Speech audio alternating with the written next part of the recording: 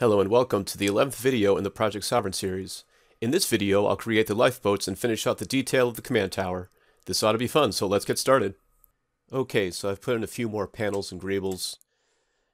And now it's time to start on the lifeboats, and I think I figured out a way to do it. So I've made these shapes that are going to be successively booleaned into the hull and that will allow me to extrude and place materials on them. So I won't need to do them as a texture. I'll be able to do them as modeling because that'll just be ultimately easier in the long run, especially because instead of just having them flat against the hull, I think I want to extrude just so they have a bit of relief and a bit of grooves and a bit more visual interest. So the reason why I chose this method is because, I mean, in places like this and on the bottom of the saucer, these areas are pretty much flat. It's not going to be that big of a deal to boolean these in, but there's other places on the ship where it's not so flat.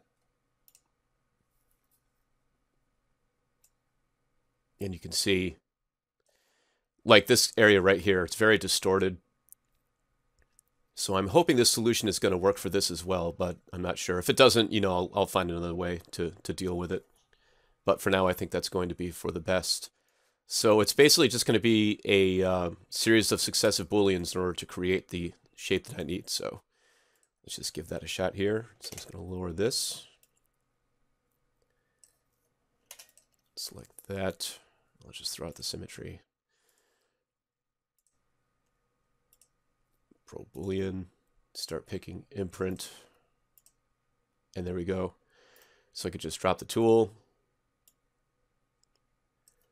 and just keep doing that.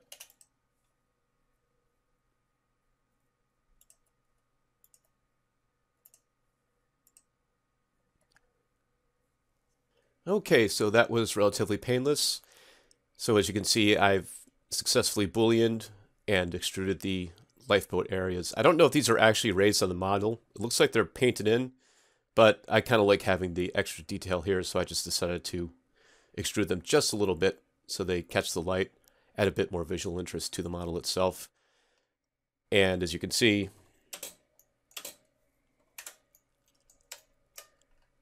all of these have been cut out too. These areas with the red lines and such.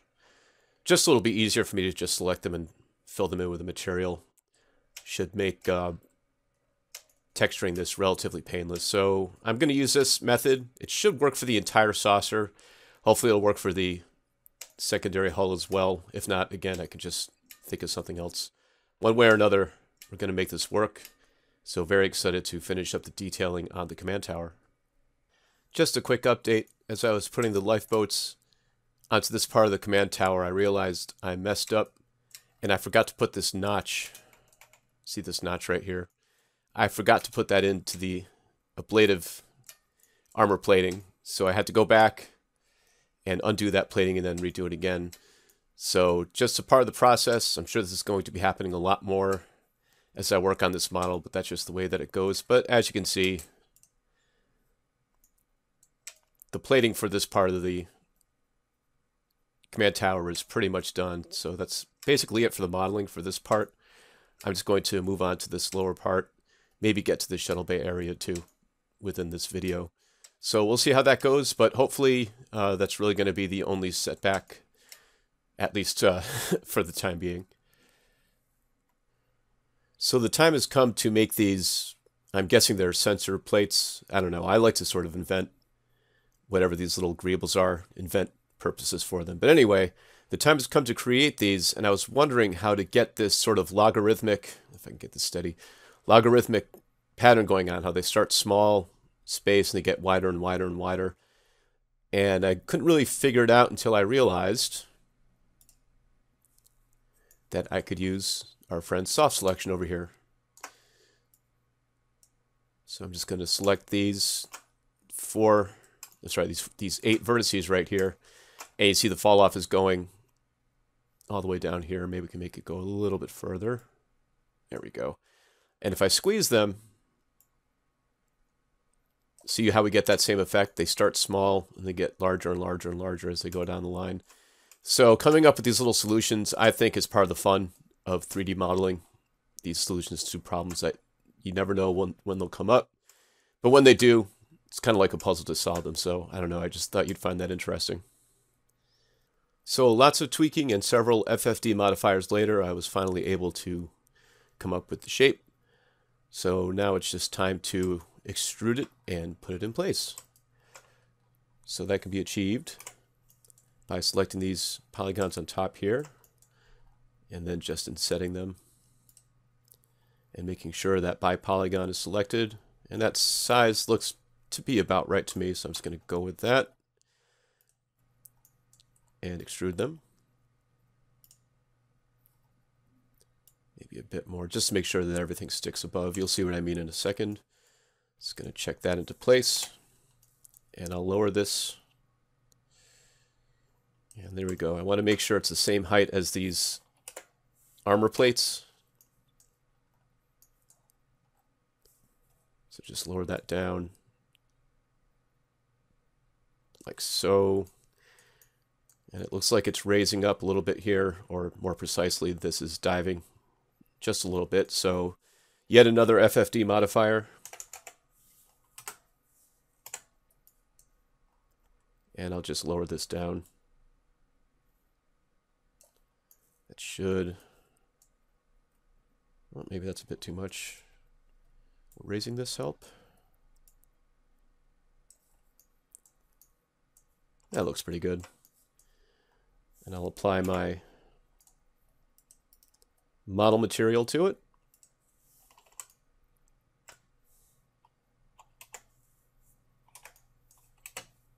Should be showing up pretty well.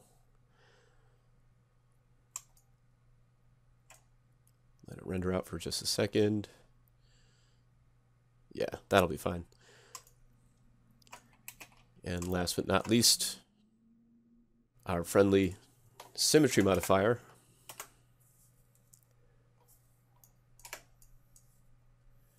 It may not work. No, it's not working. I can see already the axis is off. But that's okay because there's more than one way to do things in this program. So I'll create a clone.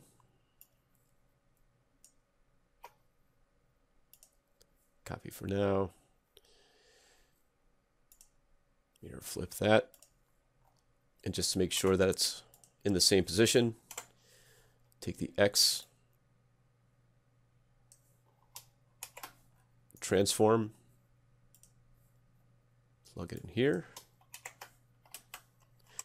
And there you go.